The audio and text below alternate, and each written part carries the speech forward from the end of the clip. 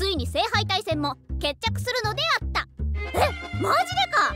うさんくさい神父がなんかそう言ってた？そりゃ仕方ないな。それで残り20話くらいどうすんの？ルーマニア系ラブコメアニメに切り替える？じゃあ僕が空から落ちてくるヒロインジャンヌは引っ込み思案な幼なじみでよろしく。